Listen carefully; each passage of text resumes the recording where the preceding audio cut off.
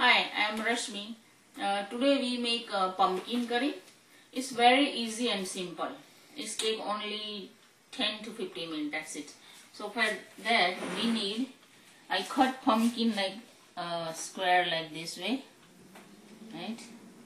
And we need um, fenugreek seeds, um, this one cumin seed, chili powder, coriander powder and salt. That's it. So for that we need 3 tablespoon of oil.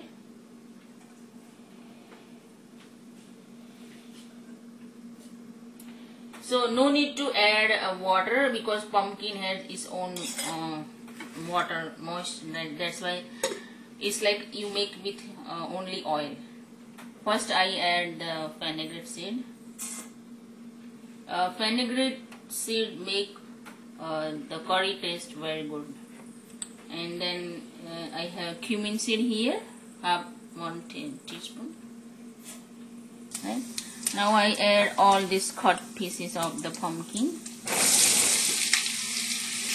It's less spicy but taste is very good. Add just a half teaspoon or as you per your taste uh, salt. That's it. And cook for 10 minutes. Um, after 10 minutes you see, you see this pumpkin has its own water. No need to add water. Change the color too. Before it's dark orange, now it's going light. Uh, some coriander powder and red chili powder. Cook like medium uh, medium heat. If you cook like high heat, it's like a burn on the bottom side. So that's how we make the pumpkin curry. So nice. Uh, if you eat it when you have fasting with Rajagrasira or you can eat uh, with a bakri or roti too. Leave for two minutes. So it's all spices and all together nice. Look at this the fenugreek seed and cumin seed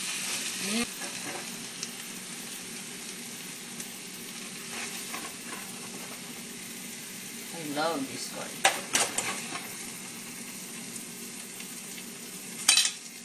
There you go. See you next time guys. Bye.